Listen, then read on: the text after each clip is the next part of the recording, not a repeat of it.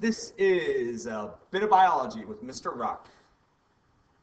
Today we're going to be talking about mitosis and cell cloning.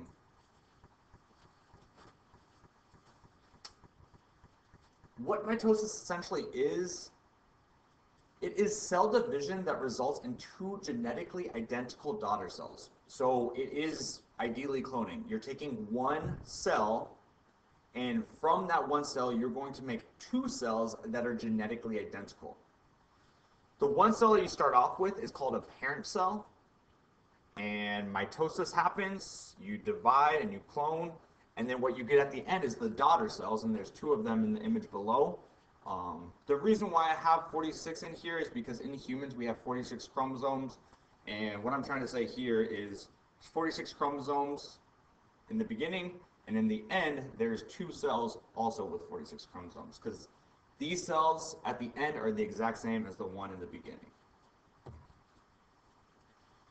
So some good questions I have for you. One, well, the first, let's start with why do we need mitosis? Why do your cells need to divide? Okay, so I have some funny images here below. First, most obvious reason is growth and development. You started out at one point in your life as only one cell big. And then, after fertilization, you continue to grow inside your mother's stomach.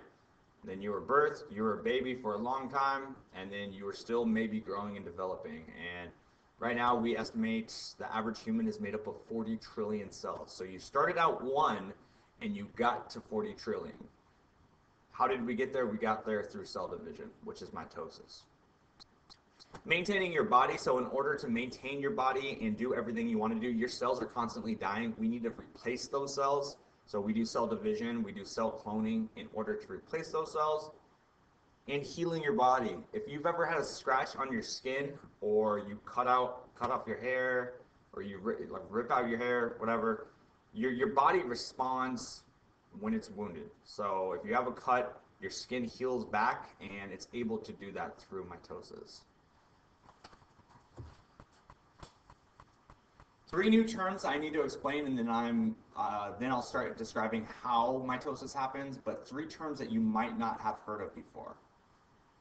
Number one is going to be somatic cell. Mitosis happens to somatic cells, and somatic cells are any cell in the body besides sex cells. So besides the sperm or an egg, all cells besides that. So examples of this, muscle cell, nerve cells, hair cells, skin cells. All of these are somatic. They are also diploid, so that's in there for the definition. Next question would be, what does diploid mean? Diploid is a cell with two sets of chromosomes. So once again, besides your sex cells, all of your cells in your body have two sets of chromosomes. So it's 23 pairs, and I want you to kind of think of this like shoes.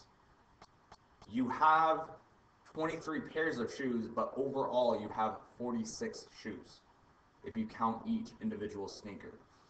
So 23 shoes from your mom, 23 shoes from your dad, they all come together to make pairs, which gives you a total of 46. So diploid is something that has two sets of chromosomes. One set's from your mom, one set's from your dad. And finally, this term chromosome here down at the bottom. Chromosomes, it's just a form of DNA, and this is where genetic information is stored. So DNA can be stored in either chromosomes or chromatin. I'll explain that more here in a second. On to the explanation of how mitosis happens. Mitosis is going to happen in four major steps. And an acronym that we use is PMAT. So it goes prophase, metaphase, anaphase, telophase. I'm going to describe each of these phases and I'll also give you some pictures. But first we have to do the prologue, the uh, prologue is something that happens before the story. So the prologue here is interphase. Interphase is not a step of mitosis. So it happens before mitosis, so that's why I'm calling it a prologue. It's a different story, but it happens before cell division begins. So what happens before mitosis? Interphase. Things that happen during interphase are the DNA is replicated so if you want to divide your cells and make sure they're the exact same, you need to make sure that there's double the amount of DNA. So when you pull them apart, each one has 46 chromosomes. DNA is still in the form of chromatin. What that means is there's two forms of DNA. There's chromatin, and that's these sloppy lines here, and there's also chromosomes. The chromosomes look like the X's. Centrioles are formed. Uh, there's the picture pointing to it. If you're watching this with the notes packet, I would like you to label the picture, chromatin, centrioles, and nucleus. Centrioles are little proteins, and they're going to be used to pull the chromosomes apart. I'll explain that more in a second. Mitosis's acronym is PMAT. Prophase is the first step. So the steps or the things that happen in prophase are the nucleus disintegrates. So in order for the cell to divide, we can't have a nucleus. Number two, we are going to need to turn the sloppy DNA, uh, chromatin is very, it's not organized well. We need to turn that into organized chromosomes. So the chromatin is going to turn into chromosomes. And you see that here in the picture with the nice X's. And then finally, the spindles start to form. And I'll explain what spindles are with the next step. Metaphase is the next step. And the way it's kind of a cheesy analogy, but the way I want you to think about centrioles, which are the proteins on the end, and spindles is I want you to think about like a cowboy with their lasso or with their rope. So the centrioles are the cowboy, and the rope is the spindles. So there's two cowboys on the end.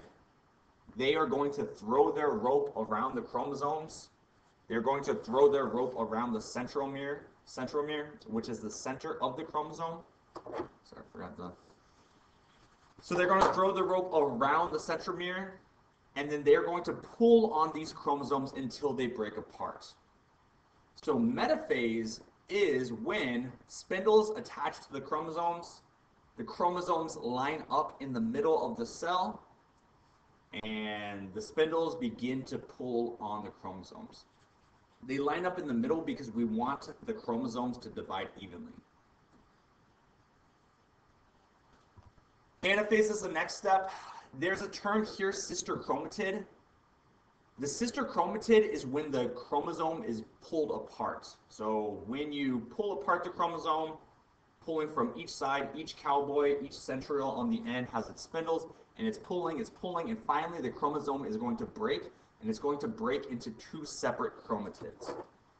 So please continue to label on your drawing if you have the notes packet. These are two sister chromatids here, and they were pulled apart from each other. They used to be an X, now they're pulled apart. Also, this is the shortest phase in mitosis. Acronym is PMAT, prophase, metaphase, anaphase, uh, and then finally telophase. Telophase is when you really start to see two different cells form at the end. So you can see the shape of the cells begin to take place. Uh, and it kind of always looks similar to maybe an 8, the outlining of an 8, because you see two different circles forming. Big things that happen here is the nucleus is going to reform around the DNA. So the nucleus is going to show back up and it's going to surround the chromosomes. So the DNA is going to be trapped in there. And then uh, the big thing, the reason why we did this, is the formation of two new cells. Finally, we had a prologue. We also need an epilogue. Uh, epilogue comes at the end of the story. The epilogue here is cytokinesis. Big things would be a crease forms down the middle. So it's completely cut in half. So two, we now have two new cells. They are, these cells are somatic and they, these cells are going to start from square one. So it's just a nice cycle that they go through. They're going to start back again with interphase. So there's four steps to mitosis. Once again, Interphase is not one, neither is cytokinesis. So this is not a step of mitosis, but it comes after telophase. Final walkways here should be, after watching this video, you should be able to explain and tell me how and why, the hows and the whys of mitosis. So you should be able to tell me how mitosis happens, the steps that we need, and then also why, as living organisms, we need to do mitosis. This has been a bit of biology with Mr. Rock. I'm signing off.